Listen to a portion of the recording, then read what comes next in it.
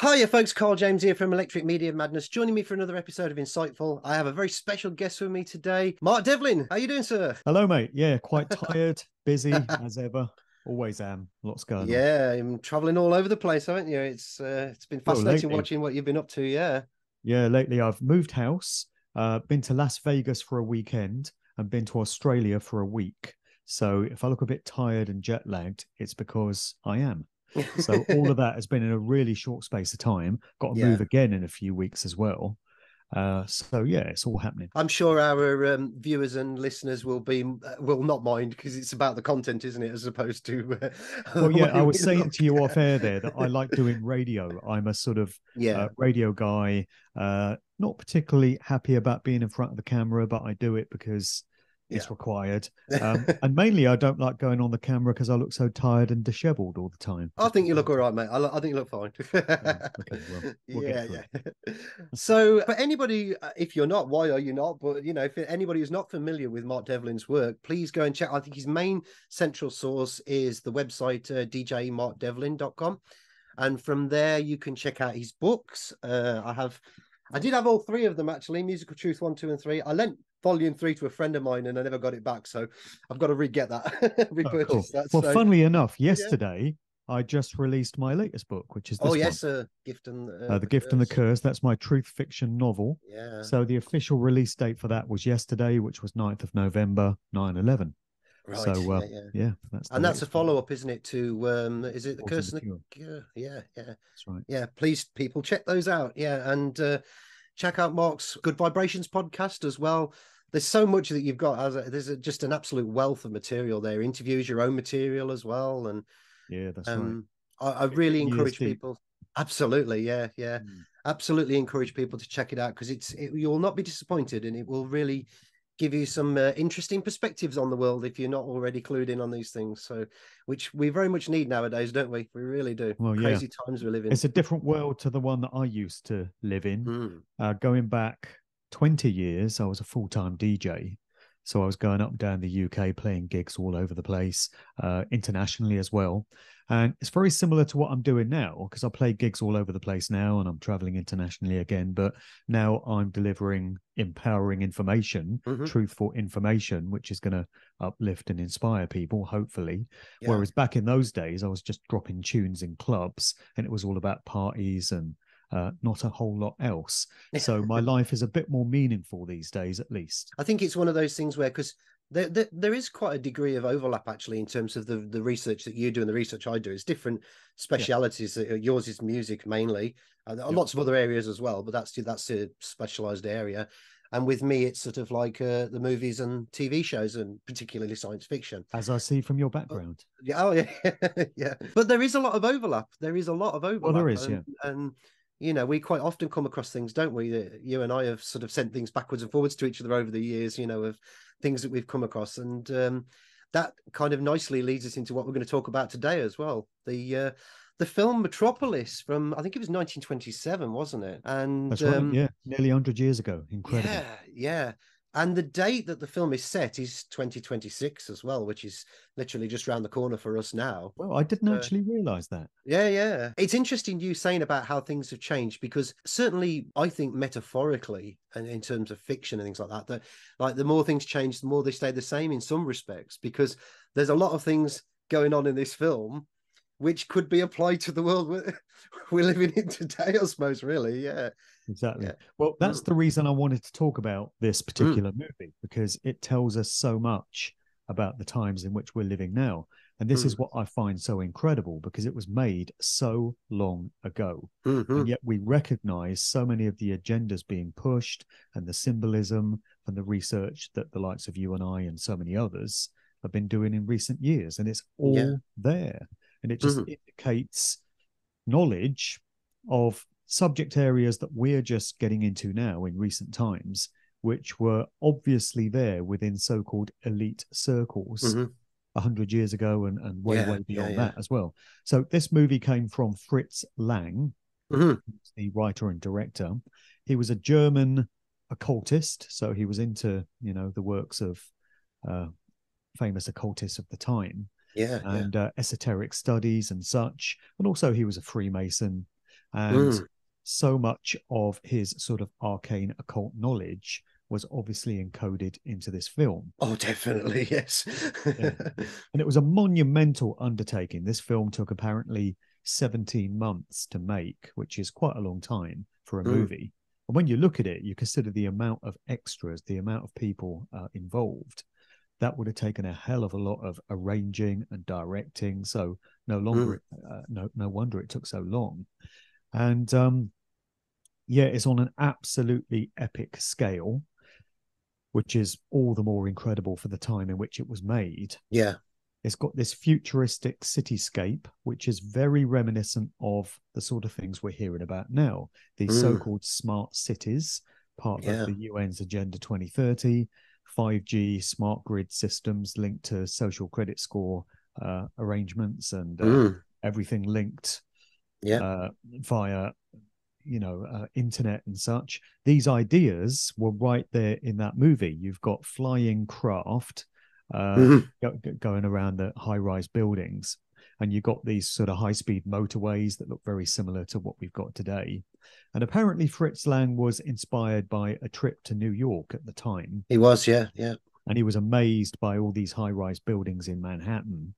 And so he sort of recreated his visions of new york in the uh, cityscape for this movie Mm. so uh, it's very futuristic in its themes it's got things like transhuman transhumanism Oh, yeah, yeah, yeah, yeah. uh, which is a very major part of the plot actually so um, just to give a, a précis of what film is about uh, a basic Yeah, please do, yeah, because some people might not be familiar with it. Yeah, yeah. Sure. So um, there are lots of different versions of it, actually. Uh, I think the original version was about two and a half hours long. But as with so many movies, it's been chopped and, and butchered over the years, and you've got various different cuts where they've taken vast swathes of the narrative out. So if people want to watch it, try and track down the original cut, which is about two and a half hours in length. Mm. I think they restored most of it in 2008, didn't they? If I remember rightly. Yeah, I think it was they Yeah, got there were various a lot of the old footage back, didn't they? Yeah, yeah. yeah various restorations there was some hidden uh, some lost footage Hmm. which was recovered and it was quite damaged uh, but from a, the point of view of completism it was sort of uh, pasted back into the original cut so for Hmm. anyone that wants to see some of that lost footage you can probably see that cut as well uh, so the basic overview is that you've got this futuristic cityscape i didn't realize it was set in 2026 but you Mm. just enlightened Mm. me on that uh, that explains a lot because it's similar to a lot of, of what's happening Mm. at the moment. Mm. And um, you've got an elite class, so called, who live above ground in these amazing high rise skyscrapers. And the creator of this city is a guy named Joh Fredersen. Mm. So he's like the, the ultimate uh, elite guy who presides over this city. But then you've got the working class, the laborers, who are toiling away underground on machinery that Mm. keeps the city operating. And the city is entirely reliant on this workforce.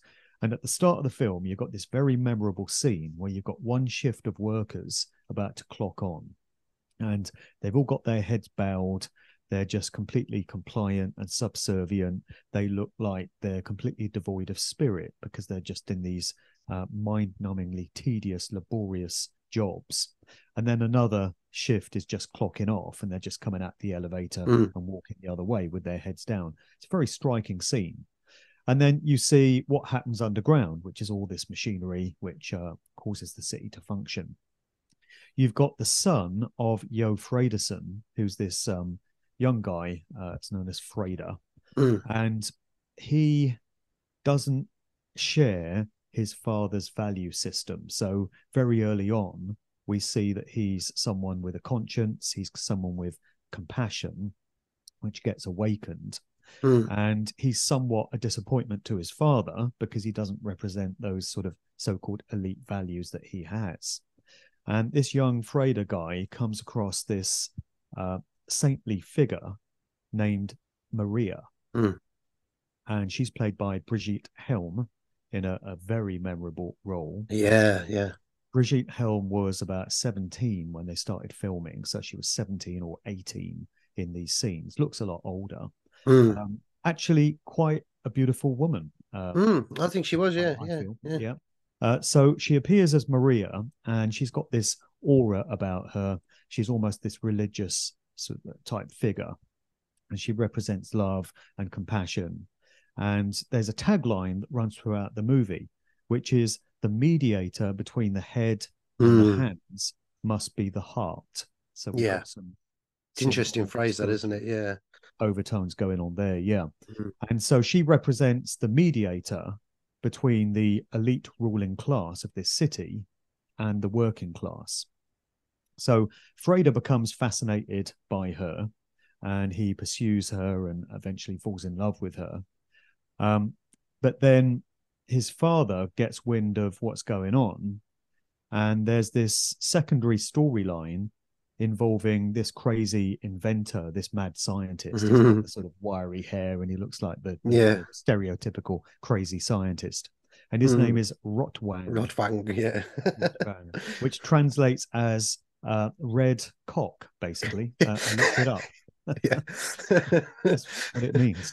Mm. And um, it turns out that both Rotwang and Joh Fredersen were in love with the same woman.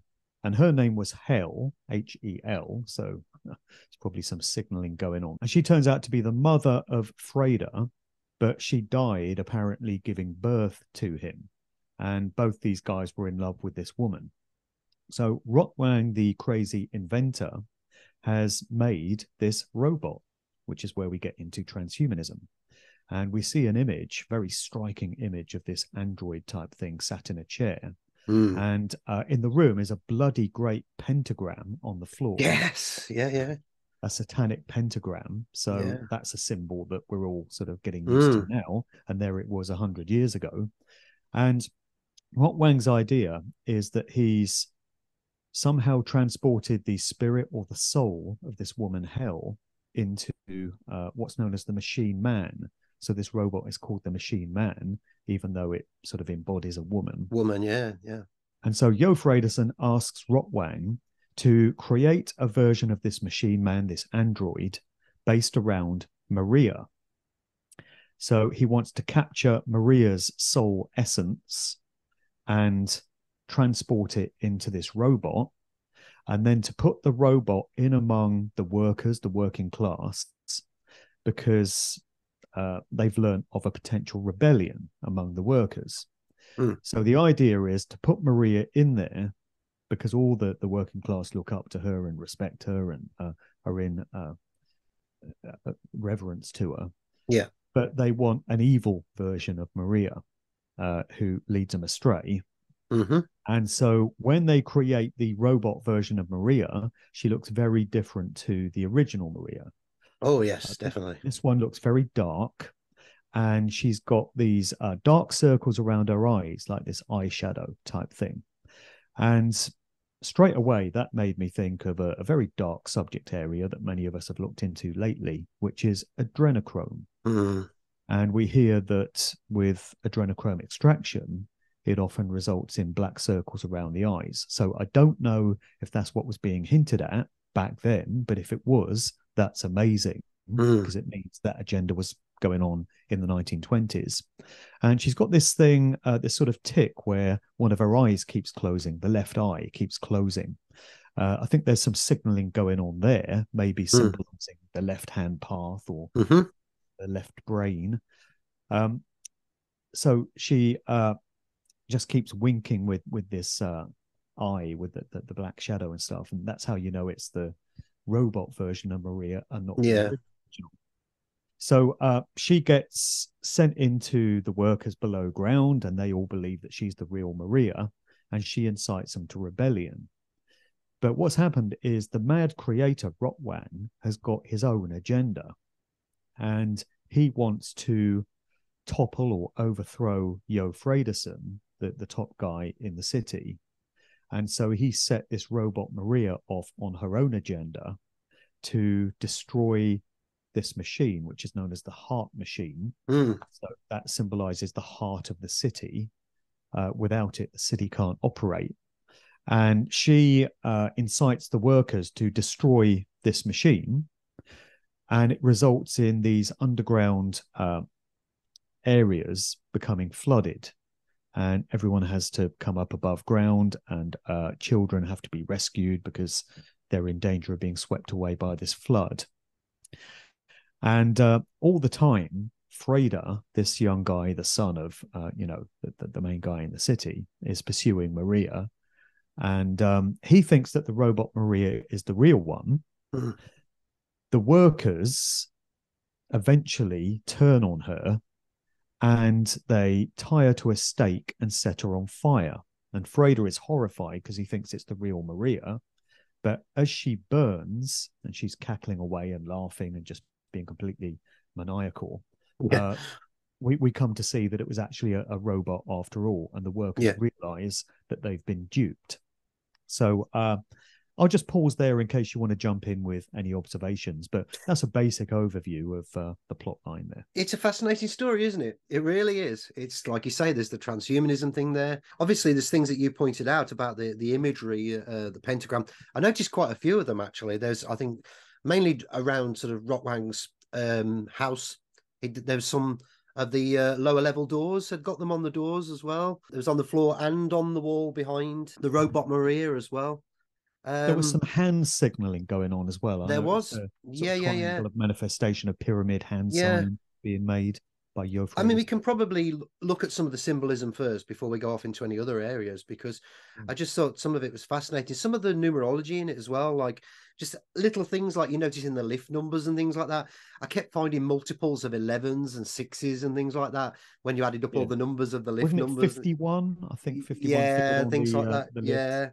Yeah, Maybe quite a few- Area 51 in Nevada, you know, this underground. yeah, yeah. Just like, uh, uh, of course, obviously, there's the the machine, the Moloch as well. That's another that's another big one, isn't Oh, it? Isn't yeah, it? yeah, We've got a couple of dark themes really going on there. So one, um, yeah. there's a point where Freder starts hallucinating and he's having these nightmarish visions.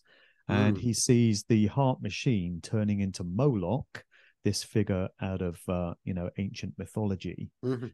Uh, to which children were evidently sacrificed.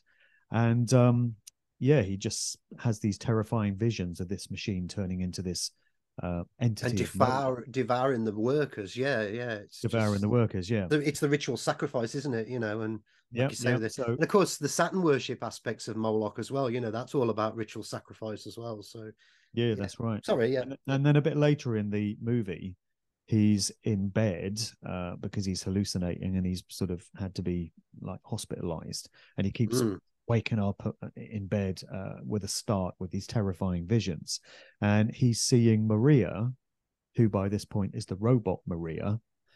Uh, having turned into the whore of Babylon, Mm. So yeah, she's representing that imagery. yeah. I've got a lot of notes on that. yeah, there's, there's biblical overtones. There's a lot Mm. of um, you know, this esoteric spiritual imagery that we're all quite familiar with now. Mm, mm. Um, and again, uh, it's just incredible to me that that knowledge was being displayed almost a century ago, and very Mm. few in the film-going audience would have been familiar with this symbolism and known what it meant. I would Probably suggest. not. No, no. Only really high-level adept occultists with some very advanced knowledge would be able to recognize these themes. Mm. But they're all in there. One of the things that I thought was interesting uh, with, with the time and the sort of the cubism, the surrealism, um, the expressionism, sort of that that art movement at, at that point in time, which is clearly in the film, isn't it? You know, and and Fritz Lang was clearly inspired by all that sort of style of doing things as well. Art And Deco as well. yeah, yeah, of course, yeah. Um, and I don't know how much you've looked into it. I mean, only a cursory for me, but sort of how certain elite types steered those art movements as well, of course, you know, and moved so much of that symbolism into that esoteric occult symbolism into that sort of movement, art movement. Yeah. It's 1927, but it's portraying a scene which looks very modern, very contemporary to these Mm. times. Mm, Uh, that city just looks like uh, a city that we have these days. mm, mm. Uh, so, yeah, I'm just astounded by how long ago that thing was made. And obviously, Yeah. ev- everyone involved in it is now deceased. Yeah. Yeah. Uh, but what an incredible legacy was left behind. I'm not Mm. entirely sure what Fritz Lang's intentions were. uh, whether it was to sort of uplift or uh, educate humanity in some way and communicate empowering information, or mm. whether it was uh, some sort of occult mockery of the apparent profanity or ignorance of the masses, uh, whether it was revelation of the method in some way, you know, which they like to do, placing I, I, in plain sight. I don't know what his intentions were mm. behind mm. putting that movie out. Uh, evidently, it was a, a, bloody pain in the ass to make. It took so yeah, long. Yeah, yeah. It yeah. cost the equivalent of 21 million pounds mm. money. And um, the studio must have been very frustrated with how long it was taking to get out. I believe it, it bankrupted the company, didn't it? I, if I'm right, I believe it bankrupted the uh, UAF. Was it the company that made it? Um, yeah, I believe so. Yeah. Yeah, yeah, yeah. yeah. Um, it still stands up today. It's quite surprising, actually, in terms of how it looks and it's undoubtedly it's inspired things like Blade Runner and films like that. You know, with the cityscapes and all that. That sort of um, yeah. yeah. Going back to your point you you're making about the the the what it was that he was trying to convey, I, I completely agree with you. All of those things. I think it's probably all of those things as well. But one of the things that I, I picked up on there was the socio-political thing as well the timing of when it was being made in Germany, sort of just leading up to that point with um, uh, Hitler and all that, the, you know, that kind of thing. One of the fiercest critics of the time was the Communist Party uh, in Russia, I think it was, because they it was sort of ardently socialism aspect to it that was coming from it. I think you yeah. can see the socialism in it, can't you? Um, well, you can, particularly in that opening scene where the uh, working crowds are mm. getting ready to log on for their shift, and they all yeah. look the same. They're all wearing yeah. these flat caps, which are very reminiscent of Soviet Russia. Yeah. Um, and it's quite communistic in nature in terms of what's being portrayed. Which is yeah, which is strange that the Communist Party would have uh, would have been quite critical of it, you know. So yeah, well, make of that what you close to the truth, maybe. Yeah, yeah, absolutely, and, uh, yeah. What yeah. we've got portrayed there is exactly the same dynamic that we have in society today, which is absolutely a, a yeah. working class, effectively a slave class. Mm-hmm. Uh, subservient to the elite ruling class and mm. completely mm. reliant upon them but then again, the elites are completely reliant upon the workers because they can't survive without them. Yeah. Uh, but society in that movie is structured pretty much in the same way as it still is because oh absolutely majorly we've had movements socialism and communism and mm. uh, whatever uh, fascism whatever labels you want to put on it mm. but the same structure in human society is is with us today because yeah it would take something very radical to ever change that. Yeah, yeah.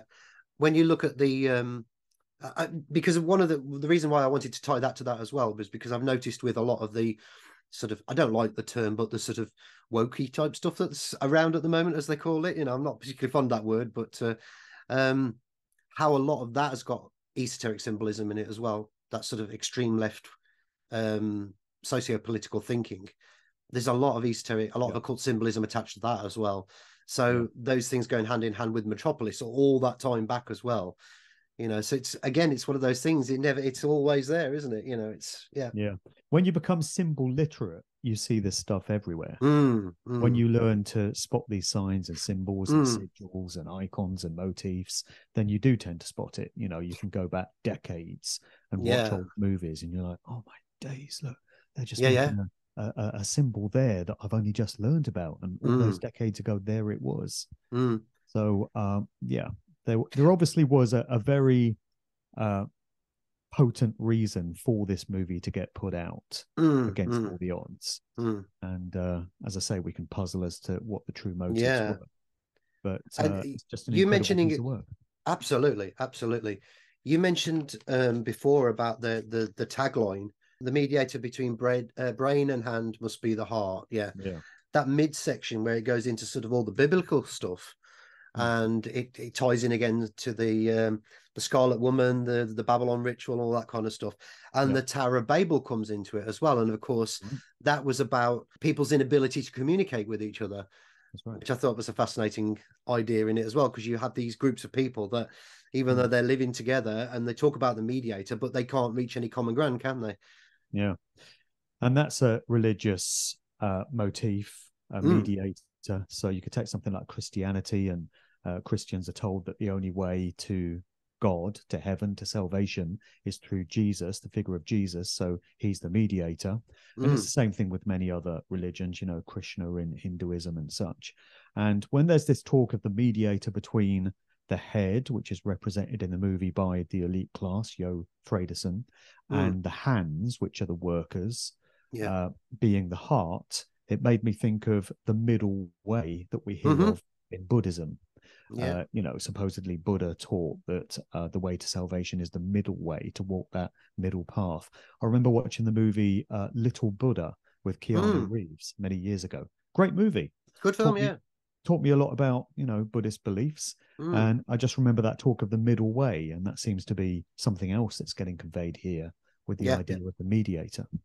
The interesting thing about the robot Maria or the machine Mm. man is that it's inspired so many music artists, yeah. and uh, it's almost as if every major pop artist of the last fifteen to twenty years has at some point appeared in robotic form, android form, very much based around the machine man out of Metropolis. Yeah. so yeah. Yeah. uh, Madonna's done that. Mm. Beyonce has appeared on stage as this robot thing.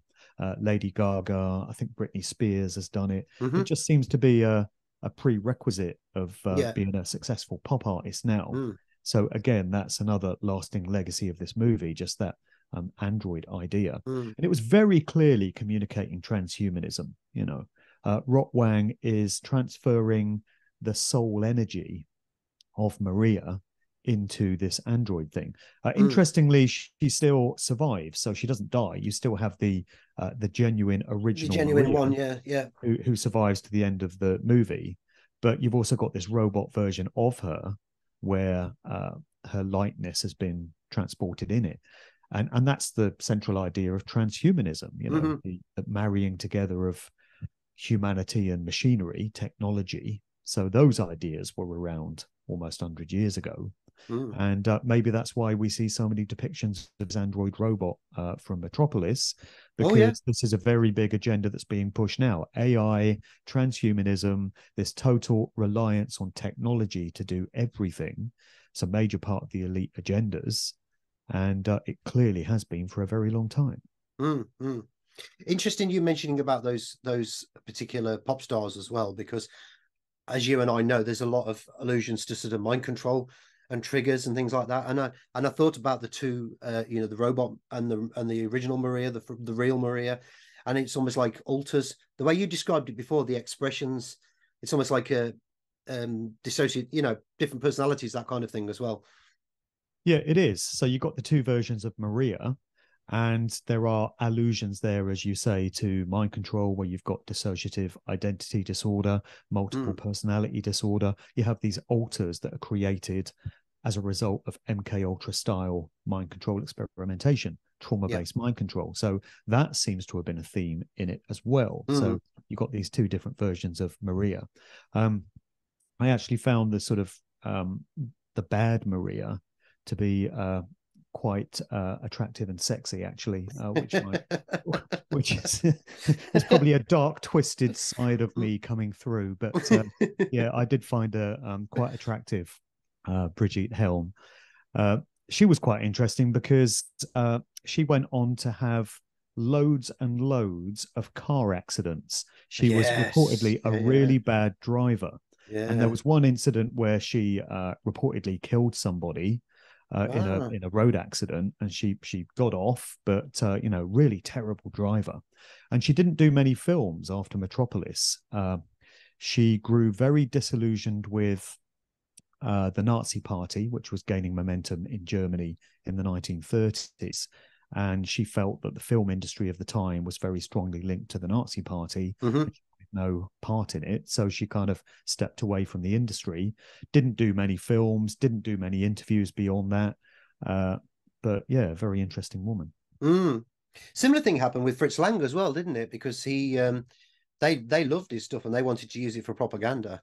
Um, obviously, he left and went to America. You know, Right. Yeah, I didn't know what happened to him after that. Mm.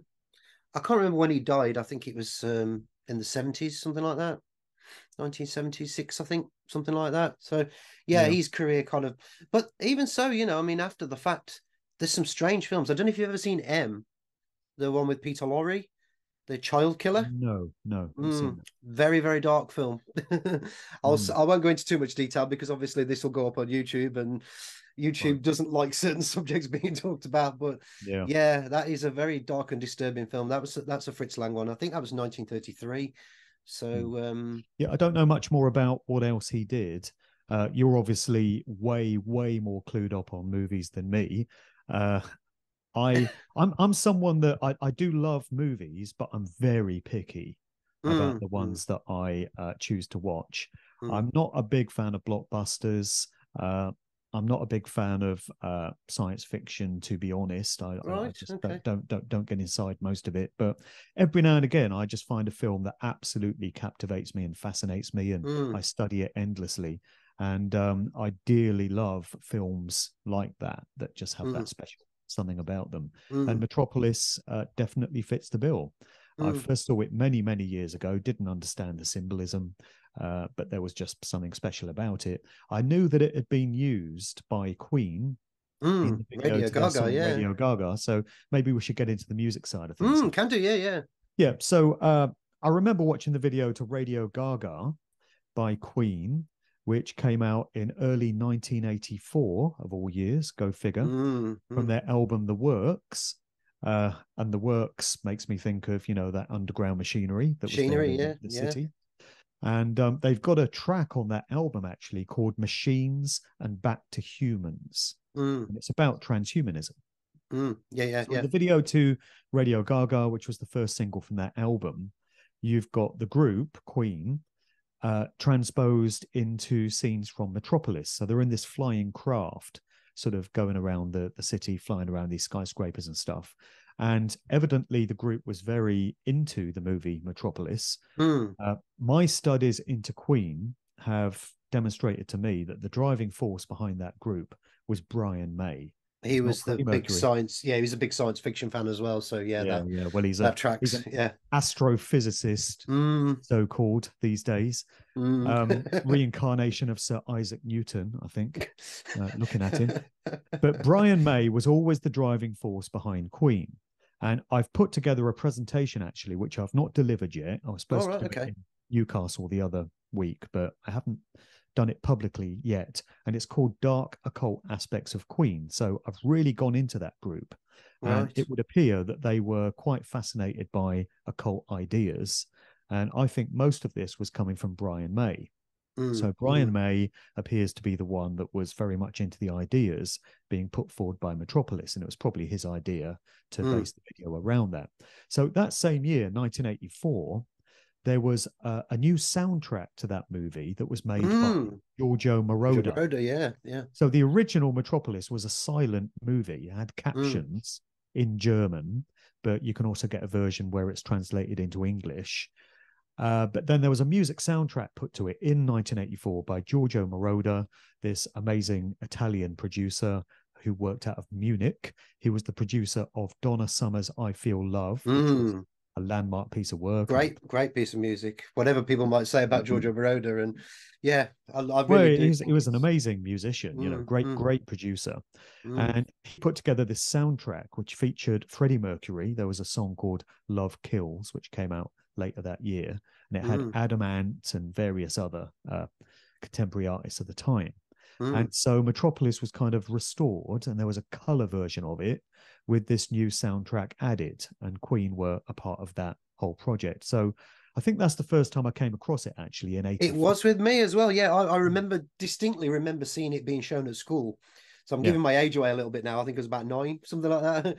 Um, so yeah, Yeah. I remember it, they put it on at school for us this one day, Oh, end wow. of term type thing or something like that. And it was the it was the the colorized musical version. Yeah, yeah. right. That would have been my first exposure to it as well. Yeah, yeah. That's right, because I was into Queen at the time, and I liked that Freddie Mercury track, and uh, I heard about this Giorgio Moroder soundtrack, and I was Mm. like, "Oh, what's this movie?" So yeah, that must have been the first time I saw it, and um, yeah, there's just been different versions of it, and as I say, it's inspired many music makers as well, because the scenes from Metropolis and there's ideas and themes which have cropped up in many music videos over the years, Mm, particularly mm. that uh, robot android thing. Mm, absolutely. I wonder as well if we might talk a little bit about because it's just an area that I'm fascinated in, but it's also an area that you probably have a lot of insight into as well. Is the the ritual of the the Scarlet Woman, the Babylon work, and all that, which is heavily talked about in this in Metropolis, isn't it?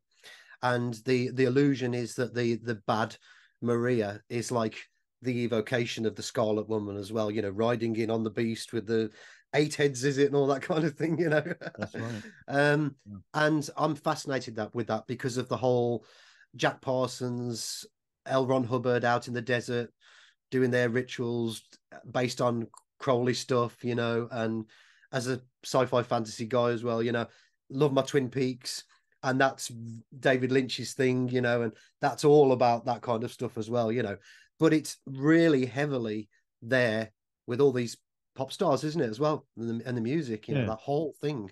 Well, I guess the evocation of the Scarlet Woman there, the Whore of Babylon, Mm. was the equivalent from those times of what we get now with these big music events like the US Super Bowl halftime Mm. show, the Grammys, the MTV VMAs. Those events in these times have become mass energy harvesting occult Yeah. rituals.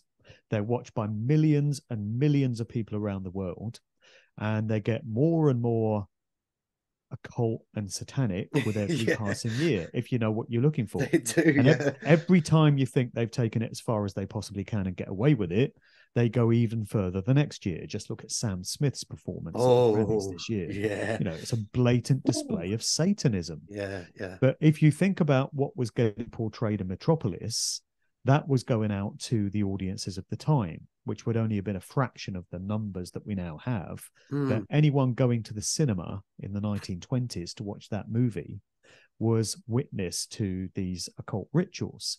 And they were giving their attention to it. And that's one of the reasons why they do these things, because energy goes where attention flows. Close, that's So right, yeah. if you've got millions of people uh, directing their consciousness towards a particular scene or a particular idea or a particular theme, Mm. there's a belief that you can actually help to manifest that and bring it into physical Yeah, reality yeah, within yeah. uh, cult traditions.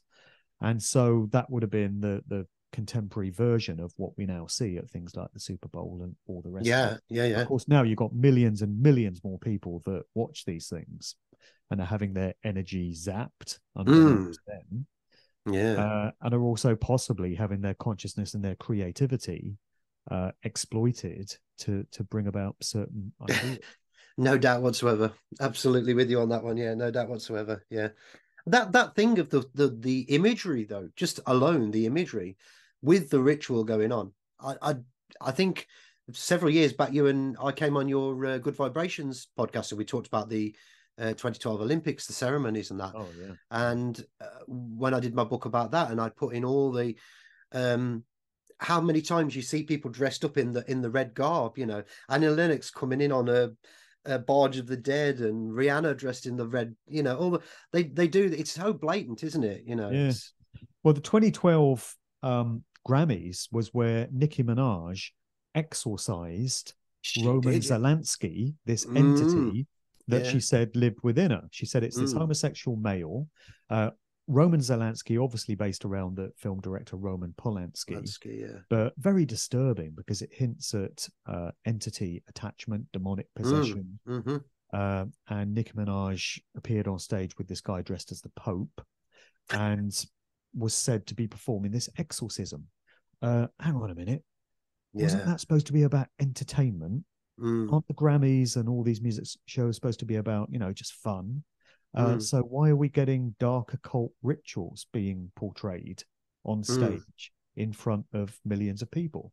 Well, it's because it's not about fun and entertainment, as we know. Not at all. Agendas at play here. But yeah, that was disturbing enough, and that was 2012. to Mm, think mm, how much further they've taken everything since then.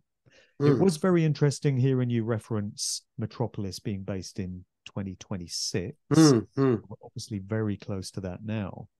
And it made me think of the movie Soylent Green. Oh yeah, that's. obviously uh, I think that's set around about now as well. well, Um, yeah, that not exactly when, but was made in 1973, so it's much more modern than um, Mm. Metropolis.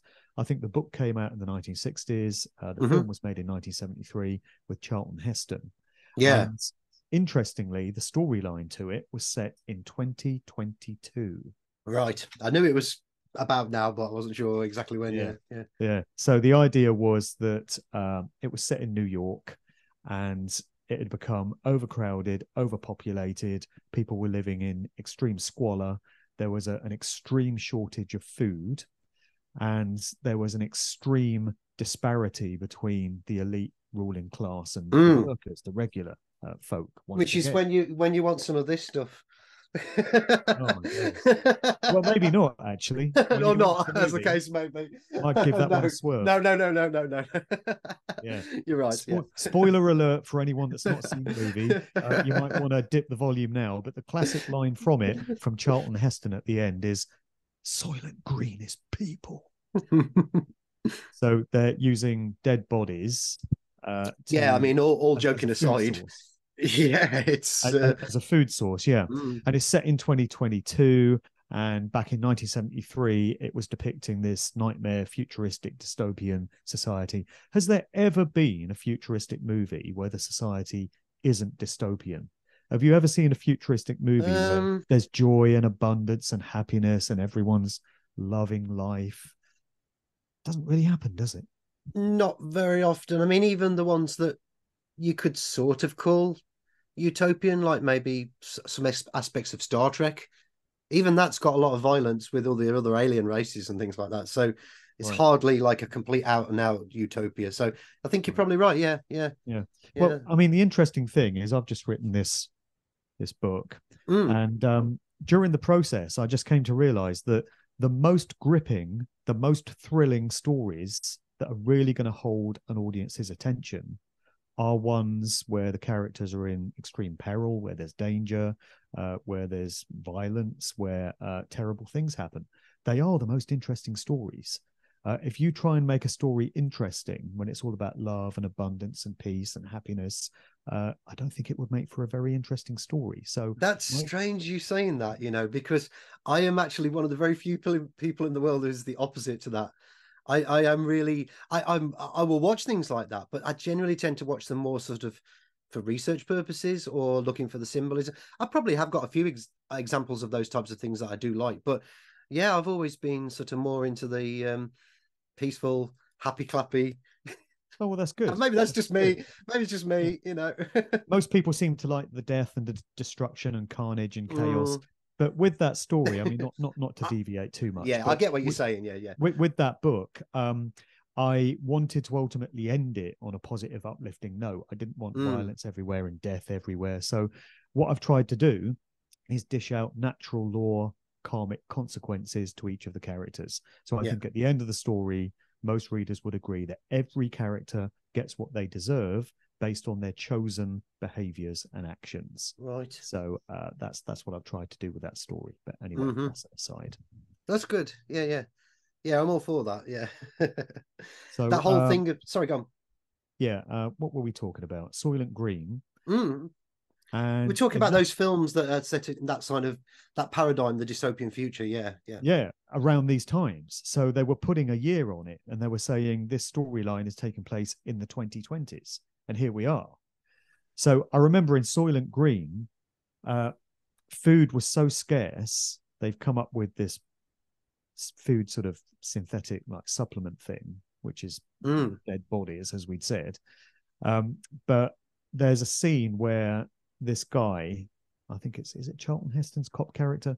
He takes a spoon of strawberry jam. Oh yeah, yeah. We sit with Edward G. Robinson and Edward G. Robinson. Yeah. Yeah, it's an Yeah. absolute delicacy just to have Yeah, a spoon yeah, of strawberry jam because uh, Mm, only the rich can afford that. mm, And so that's the nightmarish uh, future that was predicted. mm, mm. And then you've got Edward G. Robinson who volunteers to go into this Oh, euthanasia yeah, program. yeah. uh, where you get these few moments of absolute pleasure and bliss before you bow out of this world. Yeah, And yeah. then they end up using the bodies. But um, yeah, that was a pretty, pretty dark element. Mm, absolutely. Yeah, absolutely. It's quite interesting how a lot of these films that we we were talking about, whether they were sort of set late 60s, early 70s, early 80s even, they tend to sort of fall around about now. In terms of their prediction dates, don't they? I mean, it's like Blade Runner. I think is 2019. I think that that was predicting that that. Yeah, um, Absolutely. and that's another one has got the scarcity thing as well, because um, you know they no one can have real animals. You know they're all artificial animals, like the replicant humans, which is transhumanism as well. And I think there's a conversation in the film about um, do you think I'd be able to afford a, a, a real animal? You know that kind of thing. Yeah. So again, it's that idea, isn't it? I think there might be some good news here in that these filmmakers were obviously very clued in. You know, people like George Lucas and Steven Spielberg, they know the score, they know Mhm. what, what the agendas are. Stanley Kubrick knew what was going on. Mm, I, oh, pers- I personally feel that Kubrick was uh, trying to wake humanity up. Oh, absolutely. way. Yeah, I think he was an exception to the rule. Yeah, there are. I Yeah. think there are a few re- exceptions to the rule. Yeah, I think Kubrick Yeah. was uh, pretty upset with the so-called elite ruling class. Uh, He Mm. never really uh, joined their ranks. He was always on the periphery of it. And there's a lot in his movies to suggest that he was trying to Oh. communicate what their agendas were. I Yeah. personally feel that he was knocked off. They got rid of him when Mm. Eyes Wide Shut was about to be released, and we Yeah. hear that there was 20 minutes of footage that was cut. That's that right. nobody's Never seen, uh, and seemingly he just went too far, and they thought, Mm. no, we just we can't have this guy around anymore communicating this stuff. Yeah, yeah. yeah. But um, most of these filmmakers know what the agendas are. oh, yeah, yeah. I, yeah. I, I think that, um, as you said, so many of them are set in these times, the 2020s, and they probably did feel at the time as if society would be very close to the sort of things being portrayed in these movies. Mm, mm. And um, the fact that we are some way away from that still is possibly some means for optimism because uh, yeah, it may be in some way we've managed to stem the tide and we've managed to push back on these things because I personally feel that these elite agendas, so called, should be much further on than they currently are, according to their plans, according to documents they've put out, and particularly according to the clues they've put into TV shows and movies. I Mm. think they considered that by 2023, on the cusp of 2024, we'd be a lot closer to what we've seen portrayed in many of these movies. Yeah, uh, yeah. We're not. the pushback has, I, I undoubtedly, uh, the pushback has derailed some of it. Um, m- maybe delayed. I want to try and be optimistic about it and say that it's uh, derailed it as opposed to delayed it. Yeah. Look, mate, I mean, I've just got back from Australia. I got into Australia without a hitch. I did four talks communicating the information that I talk about, and I got back out again. Mm. In 2020, that was impossible. Yeah, and you probably didn't think it ever would be possible at that point exactly. in time. In 2020, I thought, well, that's it. You know, Yeah, I'm on yeah, British yeah. shores for the rest of my life because I'm Mm. never going to be able to travel again. But I did. And That's I it. think that's only because there's been pushback, there's been Mm, resistance. mm. If everyone had sat on their asses and just put up with it, I mean, many did.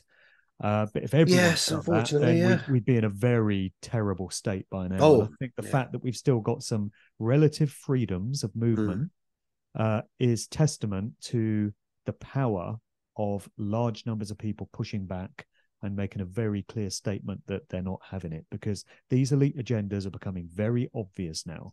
Oh It's- yes, It's yeah. in their own writings, it's in their own documents. They feel the need to communicate it, not just symbolically in movies, which they love to do, but they actually come right out and tell you what they're doing. Mm. Like Schwab put a bloody book out telling you about Mm. how he wants to enslave you.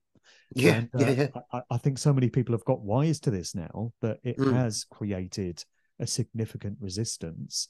And those who have been pushing back have actually saved the hides of all the bloody masses that have sat around doing nothing and they don't even realize it. No, no, they don't know. No, no. They They, don't look even at. realize what a They think crazies and. what a conspiracy theorists. would be in Mhm. if, Yeah, if yeah. all of us had done nothing and Yeah. probably never realize that. So, is there anything else you wanted to throw onto the table, maybe before?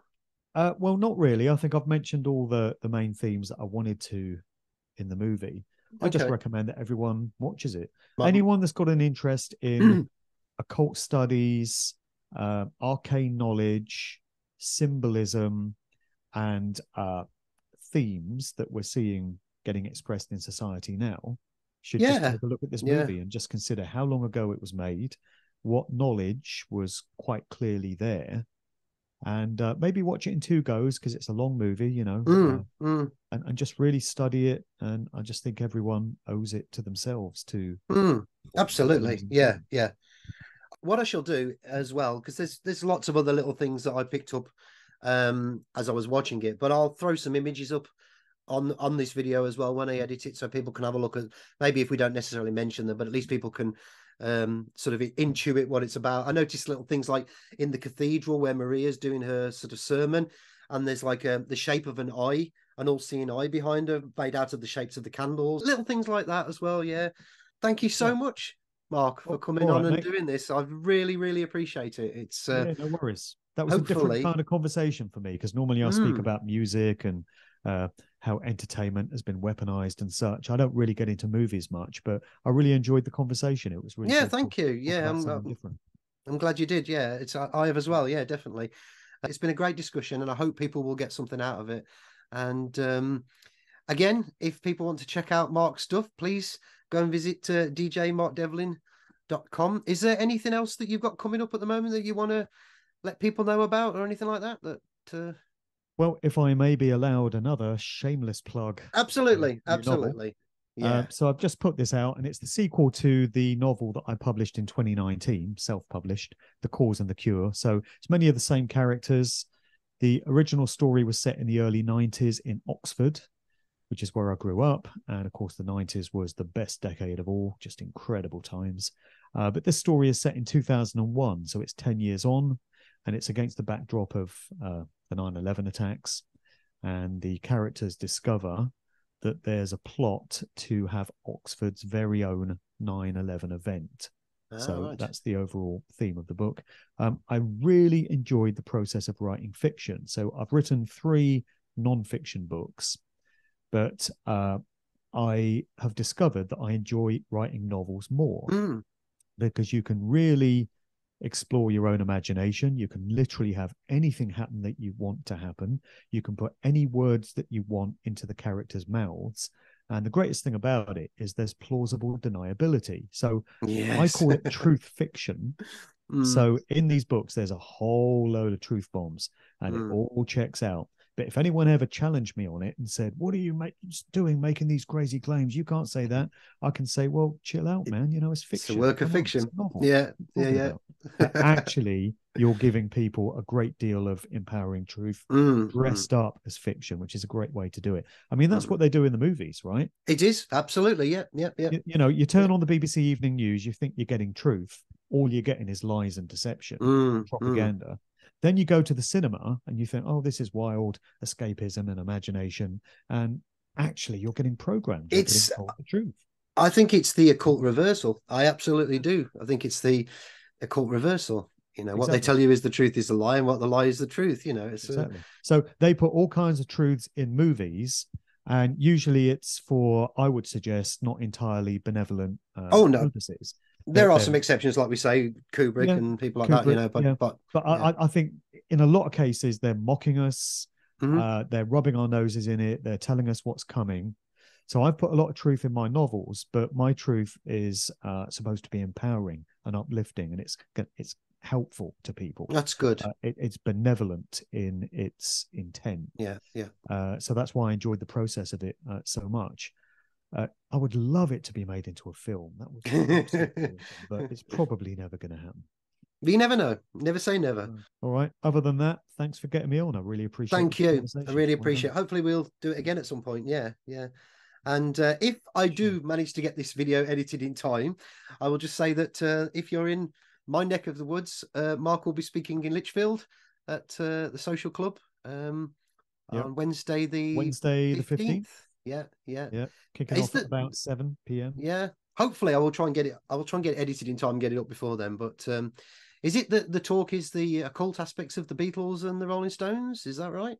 Yep. So I've got two talks: uh, dark occult aspects of the Beatles and dark occult aspects of the Rolling Stones. So I've kind of started this series. As I say, I've just done the one on Queen, and I'm probably going to go band by band for Hmm. the rest of my natural life. Okay. Please go over to Mark's channel, like, share, subscribe, and that on YouTube.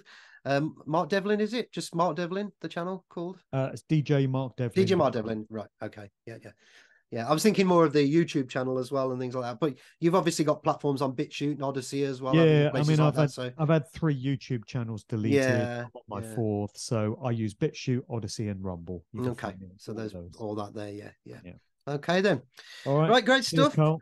Uh, you take care of yourself. Thank you so much, everybody, for watching as well. And I will see you again very, very soon. Bye bye for now. Cheers.